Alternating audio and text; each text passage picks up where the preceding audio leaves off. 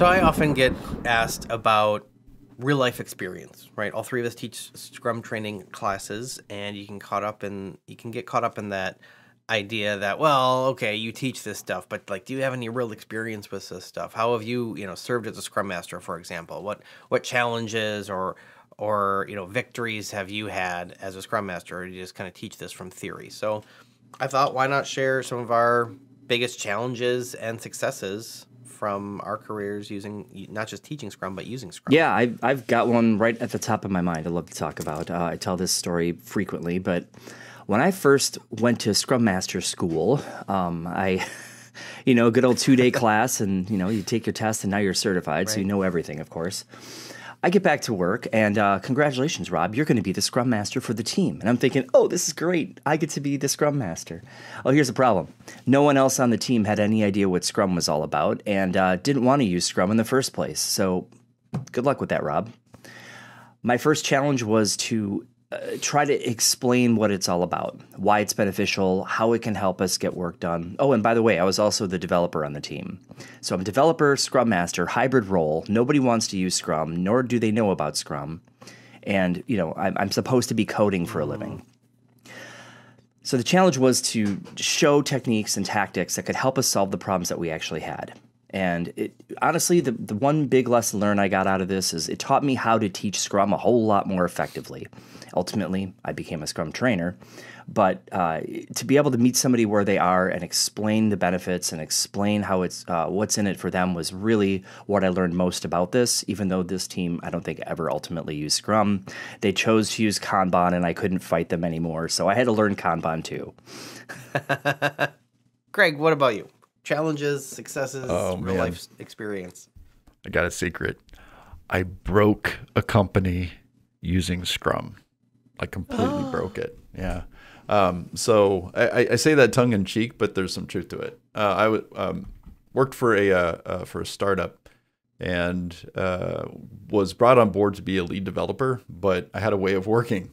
Just happened to be using the Scrum framework. They didn't understand what that was.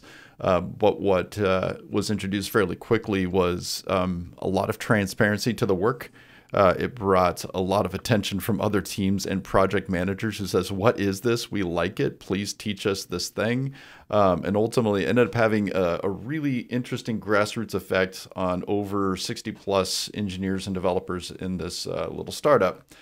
Um, what was uh, where things got interesting is when leadership began to be held to task by way of the things that were being pushed to the teams and that's where the transparency almost like two oceans coming together where they don't mix. Mm. that's what was happening. Uh, long story short there's this is there's like you know public public stuff written on this but there is uh, issues with uh, with with some some of the leadership and the direction and things would eventually implode. But uh, I don't believe that that would have happened anytime soon had there not been transparency brought to the table um, what's really cool is we've got a lot of engineers and people that we've uh, still interact with today um, that uh, have been forever changed in terms of how they think and how they do their work um, because of the usage of the Scrum framework. So we maybe broke a company, um, but we also helped uh, 60 plus engineers uh, figure out a better way of doing work. So interesting. For me, I would say there there's one particular Scrum team that comes to mind. I talk about them quite frequently. is It's probably one of the probably the most, if not one that just the most Scrum successful Scrum teams that I've been a part of. They might even be watching right now, um, and uh, I still keep in touch with the team members from this team.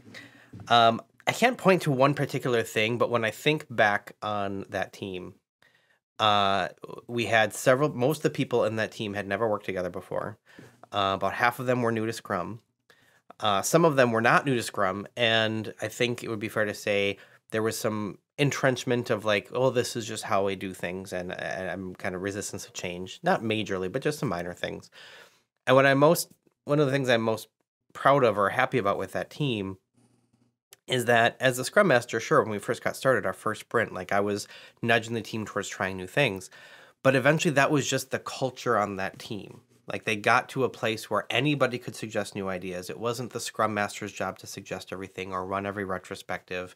Uh, we changed up how we did sprint reviews because we weren't getting enough good feedback, and the the team came up with ideas. Um, we we try we changed our daily scrum format every sprint to keep things fresh. Like the team started leading each other in like weekly lunch and learns. I started that out, but like once the pattern was set, they took took it and ran with it. So, you know, the the leadership of the team was I a servant leader on the team as a scrum master? Sure, but I was leading others to lead each other, and that that worked out really well. And so I'm that that's probably my, one of my biggest success stories with Scrum.